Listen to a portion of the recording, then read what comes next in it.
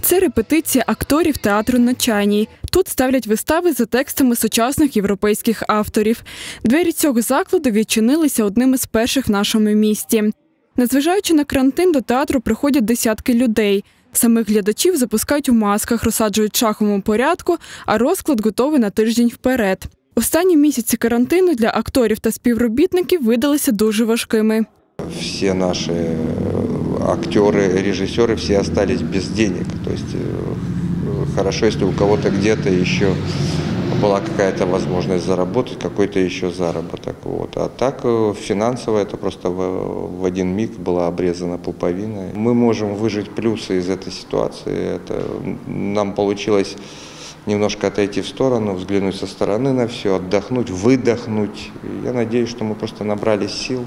Почав працювати і концертний майданчик в літньому театрі. З 1 липня тут починається театральний сезон, але відвідувати заходи можна лише із дотриманням певних правил.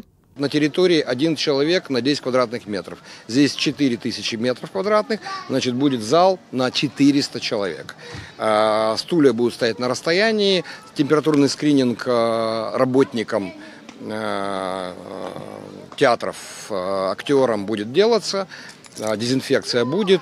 А це актори театру Маски шоу. Вони вийшли на вулиці Одеси, аби запросити усіх бажаючих на відкриття будинку клоунів. Не надо, здесь все спросить. Здесь все спросить. Подождите, мне в очередь.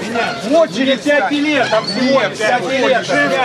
Женских или мужских? А у меня семья многодетная. Расстояние было между. я вам Кажуть, карантин по них серйозно вдарив, але відомі актори у вічі не впадають. Адже цього року їхня трупа відзначає ювілей. В этом году нам исполняется 35 лет. 35 лет, вот маски. как- Боже, какой ты молодой. А я м, просто, ну, вампиры не стареют.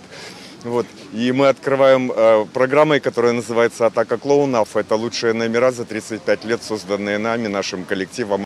Але відчиняються не всі театри. Наприклад, оперний, який відкрив двері лише для концерту на День Незалежності, та український вже пішли у відпустку. Останній свій театральний сезон відкриє аж восени. Втім, готуватися до нього будуть вже з липня.